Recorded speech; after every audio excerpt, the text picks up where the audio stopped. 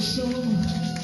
Hopefully for a bit of light and uh, positive energy into the world of uh, Ronnie Harlow. Next up, Larry Clark, you Clive. Hey, Big Sean on the guitar, Andy Clark on the bass, Marcus on the keyboards, Bongolius on the drums. We're all Bongolius, so in many ways. This mic alright, you can? Mr.